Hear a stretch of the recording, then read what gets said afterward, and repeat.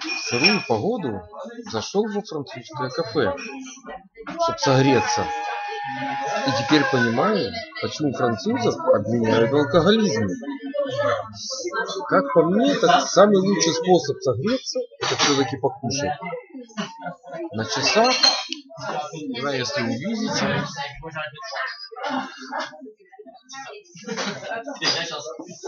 чуть больше 17 часов.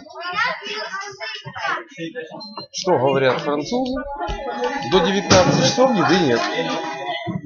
И что делать? Остается одно. Пришлось заказать дринк. Вот сижу, попиваю пиво.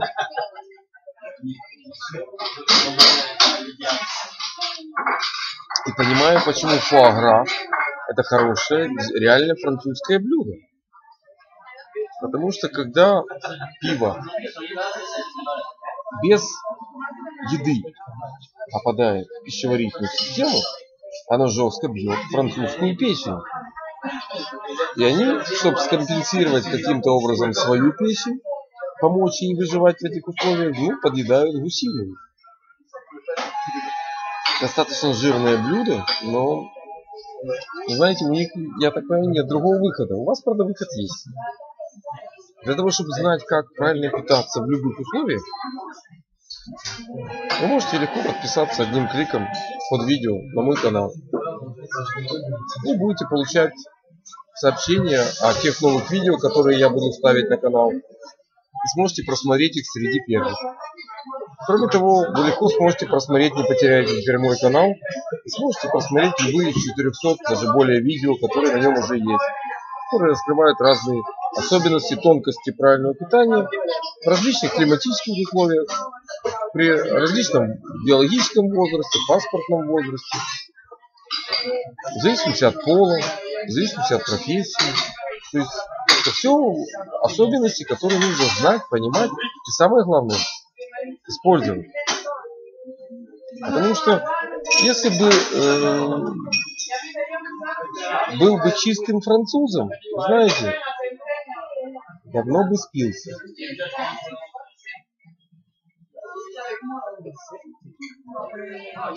А так как в славянском рюкзачке всегда есть закуска,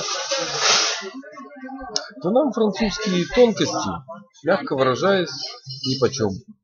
Более того, я теперь понимаю, почему французы ходят сплошь и рядом лысые или лысеющие. Ну, владельцы этого заведения оба молодые парни в районе 30 лет, оба лысеют. По той простой причине. Когда в 19 часов идет отмашка и начинается ужин, тут включаются совершенно другие темы. Потому что если на ужин пойдет более тяжелая пища, пойдет та же фуагра, пойдут какие-то продукты из мяса, из тех же улиток, из тех же лягушачьих лапок.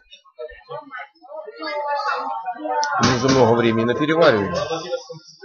Если после этого, часов через пять после этого, француз не проснется и начнет запивать просто водой или каким-то соком компотом, белковые токсины, даже переварившись, мясо, птица, переварившись даже полноценно, не будет иметь возможности удалиться с нужным количеством воды.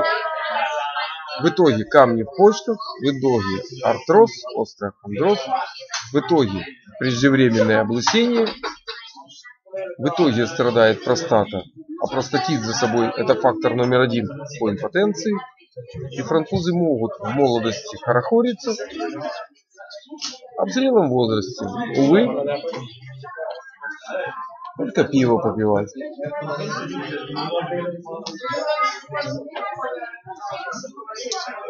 И смотреть на прекрасный пол. В отличие от славян, которые знают, что такое правильное питание и как его сочетать с алкогольной нагрузкой. Для того, чтобы и овцы были целы, и волки сыты. А согреваться одним пивом очень сложно. Да, алкоголь дает много калорий, быстро извлекает калории. Быстрый согретый, такое же быстрое охлаждение. Потому что переваривание достаточно быстрое, особенно при хорошей печени. При плохой печени, конечно, переваривания не будет, а и согреться человек не сможет. Потому что, ну, извлечение калорий из алкоголя зависит от работы печени. Печень хорошая, калории извлекаются легко, человеку сразу становится тепло хорошо. Печень слабенькая, калории извлекаются плохо, алкоголь не вставляет, как говорится. Но здесь возникают другие проблемы. Со стороны мозга, со стороны сердца. Потому что алкоголь по этим органам бьет беспощадно, если вы его не прикрыли едой.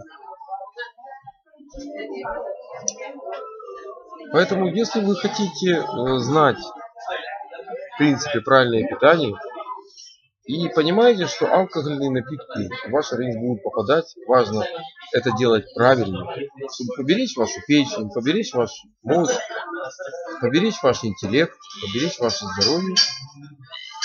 Вы видите внизу контакты, можете по ним легко обратиться. Можете, кстати, отправить это видео своим друзьям, знакомым, не вопрос. Кнопки социальных сетей прямо под видео.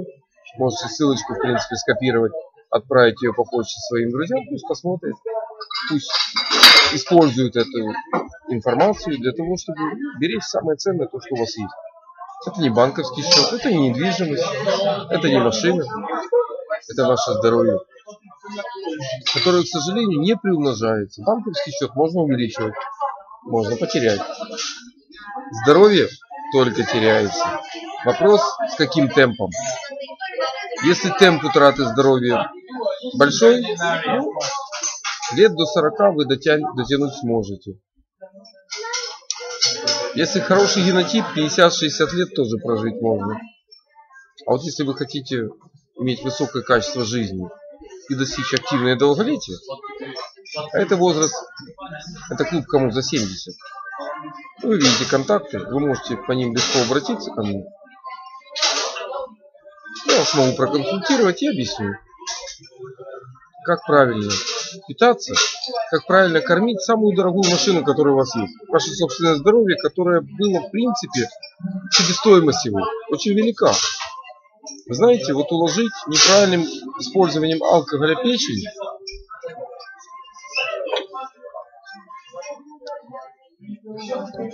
это стоит 55 тысяч долларов восстановление печени. Причем вам восстановят ее не полностью. Во-первых, печень будет бэушная, то есть поддержанная кем-то уже.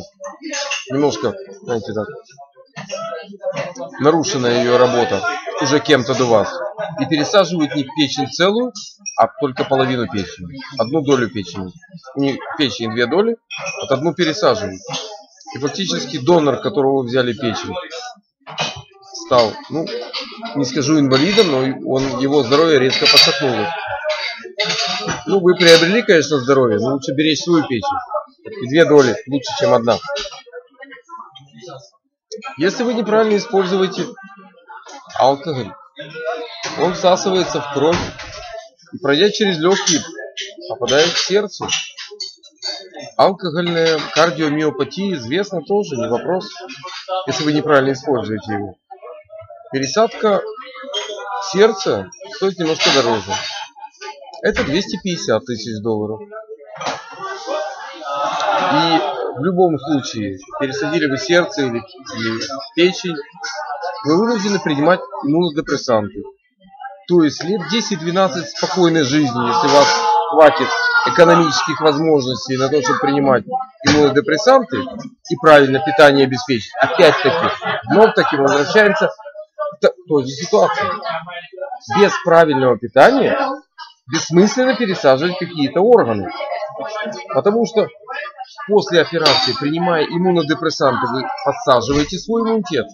Вы должны питанием обеспечить так иммунную систему, чтобы она работала без вас в автоматическом режиме легко и просто. Стоит вам не обеспечить правильное питание, у вас две, две ситуации, две проблемы.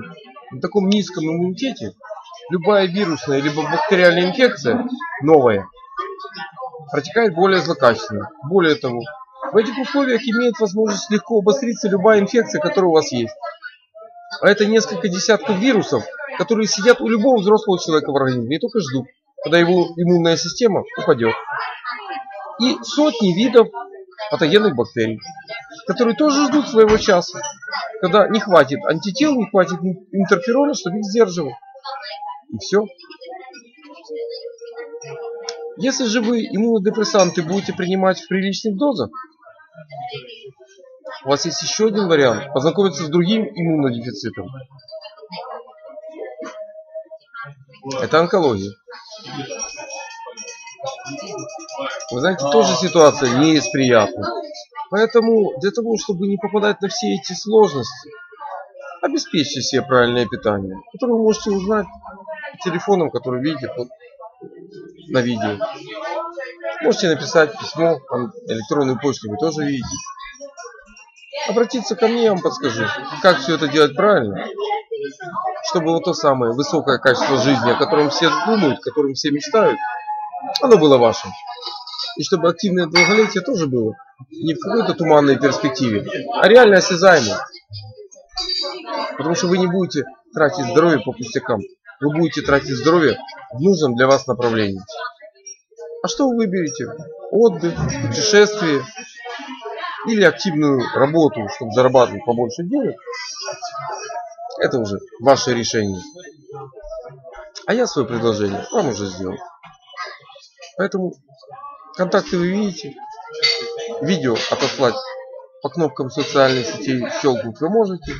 Ну и кто еще не подписался, легко можете подписаться и получать нужную для вас информацию из первых рук.